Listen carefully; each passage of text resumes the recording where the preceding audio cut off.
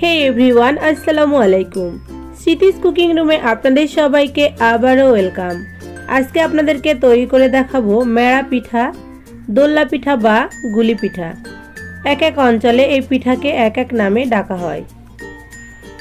চলুন তাহলে কথা না বাড়িয়ে আমরা মূল রেসিপিতে চলে যাই। এখানে চুলায় একটা প্যান নিয়ে আমি দেড় কাপ পানি নিয়ে নিচ্ছি।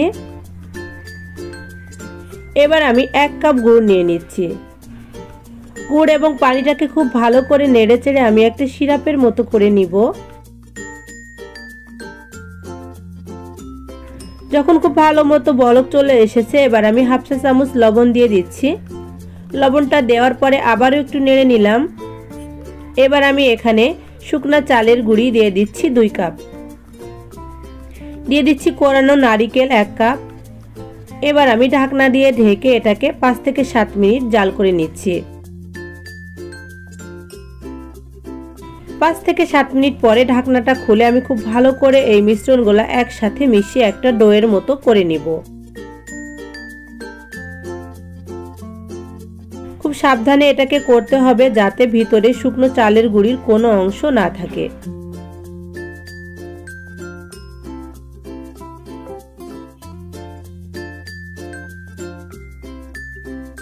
কিছুক্ষণ এভাবে নেড়ে চেড়ে মেশানোর পরে আমি আবারও ঢাকনা দিয়ে ঢেকে এটাকে দুই থেকে তিন মিনিট রেখে দিব।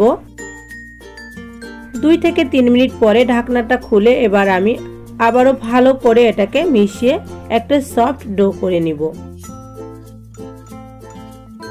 এটা যতটা ভালো করে মেশানো হবে, ডোটাও কিন্তু ততটাই সফট হবে এবং পিঠাটা সফট হবে, খেতেও ভালো লাগবে। আমার মেশানো হয়ে গেছে, এবার আমি নামিয়ে নিচ্ছি। গরম থাকা অবস্থায় এটাকে মথে নিলে সব থেকে ভালো হয়। যদিও এটা একটু কষ্টসাধ্য, তারপরও চেষ্টা করবেন এটাকে গরম গরম এভাবে মথে নিতে। তাহলে ডোটা অনেক সফট হবে। দেখুন, আমি এভাবে মথে নিয়েছি। ডোটা দেখলে আপনারা বুঝতে পারছেন কতটা সফট হয়েছে। আমি একটা পাত্রে নামিয়ে নিয়েছি এবং ঠান্ডা হয়ে গেছে এটা। ছোট ছোট লেচি করে আমি গোল গোল বলের মতো করে নিব।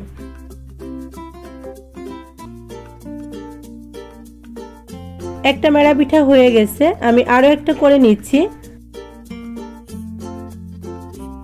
এভাবে করে আমি সবগুলা মেড়া পিঠা তৈরি করে নিলাম।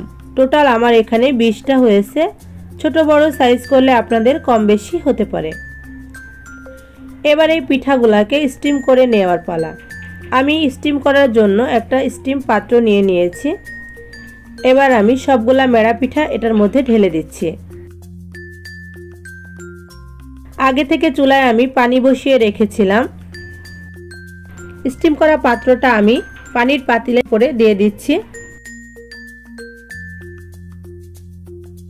এবং ঢাকনা দিয়ে ঢেকে এটাকে আমি বিশ থেকে পঁচিশ মিনিট সিদ্ধ করে নিব। বিশ থেকে পঁচিশ মিনিট সিদ্ধ করার পরে আপনারা দেখতে পাচ্ছেন কালারটা কিন্তু চেঞ্জ হয়ে গেছে, আমি নামিয়ে নিচ্ছি। মোটামুটি যখন এই পিঠাটা একটু ঠান্ডা হয়ে এসেছে, তখন আমি সার্ভ করে নিচ্ছি। পিঠাগুলার কালার দেখুন কতটা সুন্দর হয়েছে আর কত সহজেই কিন্তু এই পিঠাটি তৈরি করা যায়। এই পিঠাটা খেতে কিন্তু খুবই মজার। আপনারা বাসায় একবার হলেও ট্রাই করে দেখুন এত সহজ রেসিপিতে এত মজাদার পিঠা তৈরি করা যাচ্ছে। একটা পিঠা ভেঙে দেখাচ্ছি, ভিতরটা কতটা সুন্দর হয়েছে আর নারিকেলটা কত ভালো লাগছে। এই পিঠাটার বাইটে বাইটে নারিকেলের জন্য কিন্তু স্বাদটা অনেক বেড়ে যাবে। আপনারা একবার হলেও ট্রাই করুন এবং কেমন হয়েছে অবশ্যই আমাকে কমেন্ট বক্সে জানান। সবাই ভালো থাকবেন, সুস্থ থাকবেন, আমার এবং আমার ফ্যামিলির সকলের জন্য দোয়া করবেন। আল্লাহ হাফেজ।